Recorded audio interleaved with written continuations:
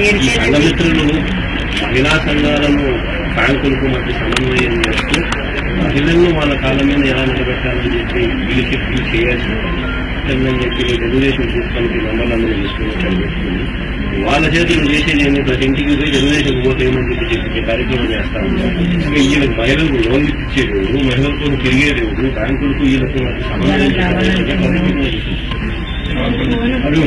మనం వచ్చిన తర్వాత ఈ రోజు మీకు రూపాయి కూడా జీతం రాదు.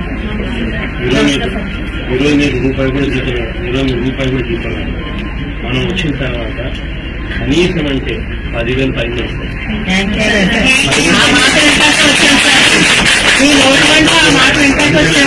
ఎందుకనంటే మీరు కనీసం సంతోషంగా లేకపోతే పదివేల ఏదైనా గవర్నమెంట్ ఇవ్వకపోతే ఇది ఏ రకంగా గవర్నమెంట్ ఏ రకంగా ఇది సంతోషంగా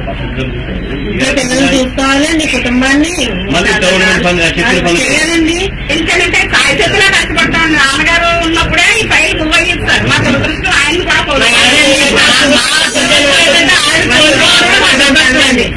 వ్యవస్థ వ్యవస్థను బతుకునిస్తాము. వ్యవస్థ బతకాలి కాబట్టి మిమ్మల్ని ఖచ్చితంగా ఆనందంగా పెట్టాల్సిన బాధ్యత ఉంది కాబట్టి ఖచ్చితంగా మిమ్మల్ని అందరూ Captain